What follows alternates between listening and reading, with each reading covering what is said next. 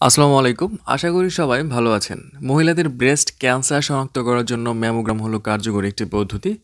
মূলত ম্যামোগ্রামে স্তন X ray করা হয়ে থাকে। আজ এই ম্যামোগ্রাফি টেস্ট সম্পর্কে বিস্তারিত তথ্য আপনাদেরকে জানানোর চেষ্টা করব। ম্যামোগ্রাফি কেন করা হয়? ম্যামোগ্রাফি কখন এবং কীভাবে করা হয়? এবং ম্যামোগ্রাফি করতে কী কী সতর্কতা অবলম্বন করা প্রয়োজন? এবং ম্যামোগ্রাফি টেস্টের মূল্য এবং কোথায় করা হয়? ইত্যাদি গুরুত্বপূর্ণ তথ্য থাকবে আজকের এই ভিডিওতে। তো চলুন ভিডিওটি শুরু করা যাক। ভিডিওটি শুরু করার আগে বরাবরের মতো একটা অনুরোধ, ওষুধের পরিচিতি এবং স্বাস্থ্য বিষয়ক তথ্য পেতে ও ডক্টরস অ্যান্ড ডায়াগনস্টিক বিডি চ্যানেলটি সাবস্ক্রাইব করে রাখুন। আর যারা ইতিমধ্যে সাবস্ক্রাইব করে ফেলেছেন, তাদেরকে জানাই আন্তরিকভাবে অভিনন্দন। ম্যামোগ্রাফি হলো বিশেষ এক ধরনের এক্স রে পরীক্ষা, যা সাধারণ পরীক্ষার চেয়ে তেজস্ক্রিয়তা মানে রেডিয়েশনের মাত্রা অনেক কম থাকে। ম্যামোগ্রাফি পরীক্ষা স্তনটিকে আলট্রা সেন্সিটিভ এক্সরে মেশিনে গায়ে লাগিয়ে কম ভোল্টেজের মাত্রা স্তনের ভেতর পাঠানো হয়, যার রেডিয়েশনের মাত্রা থাকে মাত্র জিরো পয়েন্ট ওয়ান সেগায় যা অপেক্ষাকৃত বেশি নিরাপদ। তো চলুন বন্ধুরা, এবার জানা যাক ম্যামোগ্রাফি টেস্ট কাদের জন্য। যেসব রোগীদের স্তন ক্যান্সার বা টিউমার থাকতে পারে বলে সন্দেহ করা হয়, তখন ডক্টররা এই ম্যামোগ্রাফি টেস্ট করার জন্য নির্দেশ করে থাকেন। এছাড়া সাধারণভাবে একজন মহিলাকে ডক্টররা পঞ্চাশ বছর পার হওয়া মাত্র স্তন ক্যান্সার স্ক্রিনিং ম্যামোগ্রাফি শুরু করার পরামর্শ দিয়ে থাকেন। কারণ চল্লিশ পেরোলে একজন মহিলার স্তনে টিউমার বা ক্যান্সার হওয়ার ঝুঁকি অনেকাংশে বেড়ে যায়। আর এই ম্যামোগ্রাফি টেস্ট সাধারণত দুই ধরনের হয়ে থাকে, একটা হলো স্ক্রিনিং আর একটা হচ্ছে ডায়াগনস্টিক টেস্ট। স্ক্রিনিং হচ্ছে ব্রেস্টের রেটিন এক্সরে। যেসব নারীদের ব্রেস্ট টিউমার বা ক্যান্সারের কোনো সন্দেহ নেই, তারপরও নিজে সচেতন থাকার জন্য যেটা করে থাকেন সেটা হচ্ছে স্ক্রিনিং অপরদিকে ডায়াগনস্টিক হলো যেসব মহিলাদের ব্রেস্ট টিউমার বা ক্যান্সারের লক্ষণ প্রকাশ পায়, তাদের ডিটেক্ট করার জন্য ডক্টররা ম্যামোগ্রাফি ডায়াগনস্টিক টেস্ট করার জন্য নির্দেশ করে থাকেন।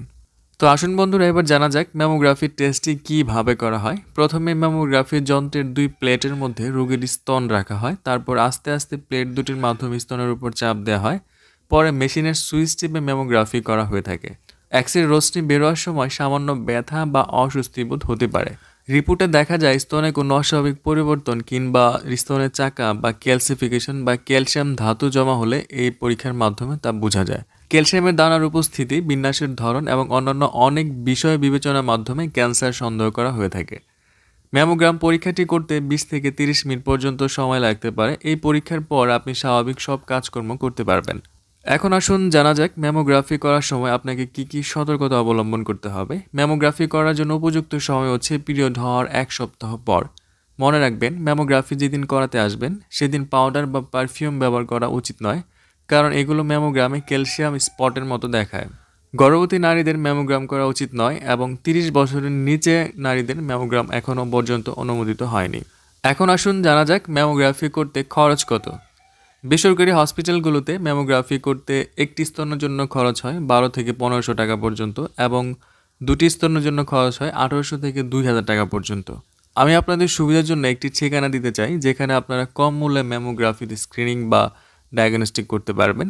সেটা হচ্ছে বঙ্গবন্ধু শেখ মুজিব মেডিকেল বিশ্ববিদ্যালয়ে ম্যামোগ্রাফি করা হয়, যেখানে একটি স্তন ম্যামোগ্রাফি করার জন্য চারশো টাকা এবং দুটি স্তন করার জন্য ছয়শো টাকা ব্যয় নির্ধারণ করা হয়েছে।